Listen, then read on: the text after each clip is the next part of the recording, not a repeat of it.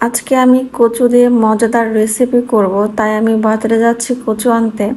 সবাই আমার সাথে থাকুন আর ভিডিওটি না টেনে দেখতে থাকুন। সারা বাজারে কচু না পেয়ে পরে আমি রাস্তার পাশে একটি দোকানে দেখি ছোট ছোট কিছু কচু আছে। এখান থেকে দুটি কচু নিয়ে বাসায় এসে আমি রান্না বসিয়ে দিয়েছি অলরেডি প্রথমে আমি কচুগুলো ছোট ছোট করে কেটে নিয়েছি। চুলায় একটি প্যান বসিয়ে পরিমাণ মতো সয়াবিন তেল ঢেলে নিলাম। তেল গরম হওয়ার জন্য অপেক্ষা করতেছি। পাশেই আমি অন্য একটি চুলায় ইলিশ মাছ ভুনা করতেছি।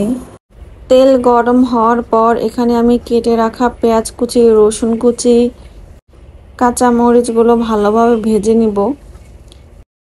আমি এর আগে এভাবে কচু রান্না করে খাইনি। তাই রান্না করার পর আমার কাছে খুবই ভালো লাগল, তাই ভাবলাম আপনাদের সাথে একটু শেয়ার করি। আপনারাও এভাবে বাসায় ট্রাই করবেন। দেখবেন খুবই ভালো লাগবে। ইলিশ মাছ আমার খুবই প্রিয়, আমি ম্যাক্সিমাম সময় ইলিশ মাছ রান্না করি। আজকে আমি ইলিশ মাছ ভুনা করব আর কচুর এই পদে করব, আর এক্সট্রা কোনো রান্না করব না। কারণ কচুর এই পটে রান্না করলে আমার প্লেটের ভাত নিমিশেই শেষ হয়ে যায়। তো ভিউয়ার্স যারা যারা এই মুহূর্তে আমার ভিডিওটি দেখছেন এটি লাইক দিয়ে দিন। আর চ্যানেলটি সাবস্ক্রাইব করে সাথেই থাকুন। ধন্যবাদ। তো এখন আমি পরিমাণ মতো মশলা দিয়ে দিব। প্রথমে আমি আদা, রসুন বাটা দিয়ে দিচ্ছি। অল্প পরিমাণে দিলেই হয়ে যায়। একটু নাড়াচাড়া করে এখানে আমি হলুদের গুঁড়া, মরিচের গুঁড়া অ্যাড করে নেব। পেঁয়াজের সাথে আদা, রসুন বাটা একটু নাড়াচাড়া করে নিলে ভালো হয়। তাহলে আদা, রসুনের কাঁচা গন্ধটা থাকে না। তো পরিমাণ মতো হলুদের গুঁড়া, মরিচের গুঁড়া আমি এখানে দিয়ে নিলাম।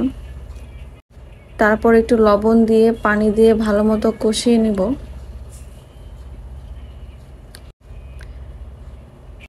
একটু ঢেকে দিব। তাহলে মশলাটা ভালো মতো কষানো হবে আর এখনই স্মেলটা খুব সুন্দর আসতেছে। তারপর এখানে আমার ইলিশ মাছ রান্না প্রায় শেষের দিকে। অবশ্যই কমেন্টসে জানাবেন কার কার ইলিশ মাছ পছন্দ। তো ভিউয়ার্স কথা বলতে বলতে আমার মশলা কষানো হয়ে গিয়েছে। এখানে আমি ইলিশ মাছ ছোটো ছোটো করে কেটে রেখেছি, সেগুলো দিয়ে দিব। ইলিশ মাছ দিয়ে, কচু দিয়ে ভাজি করলে এত মজা হয়। আমি আগে জানতাম না, আমি কচু দিয়ে রান্না করে খেয়েছি, কিন্তু কখনো ভাজিনি। তো ভালো মতো কষিয়ে নিব। এখানে আর এক্সট্রা কোনো পানি দেওয়ার প্রয়োজন নাই। তো যখনই কষানো হয়ে যাবে, তখনই আমি এখানে কেটে রাখা কচুগুলো দিয়ে দিব।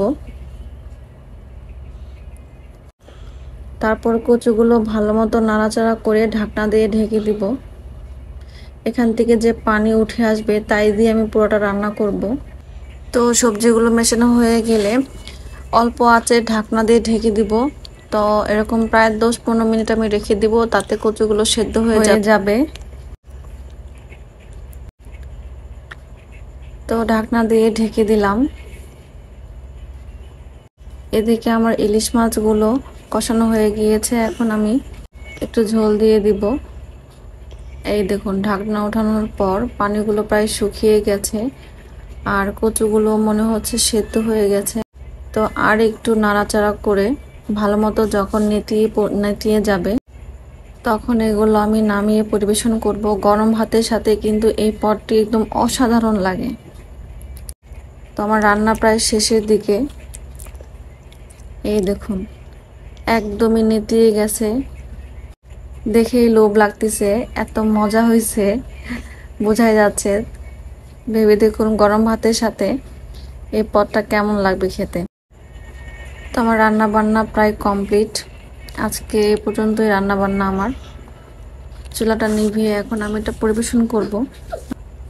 আপনারা তো জানেনই, আমি নিজেই রান্না করি, নিজেই টেস্ট যেই কথা সেই কাজ এখন আমি খেতে বসে গেছি। কেমন হয়েছে টেস্ট করার জন্য?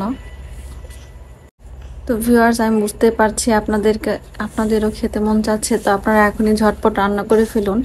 আর আমার রান্নাটি কেমন হয়েছে অবশ্যই কমেন্টসে জানাবেন। যদি ভালো লাগে লাইক দিয়ে সাবস্ক্রাইব করে আমার সাথেই থাকবেন। আমার পরবর্তী ভিডিওগুলো দেখার অনুরোধ রইল। বিশ্বাস করুন, খুবই ভালো লাগতেছে।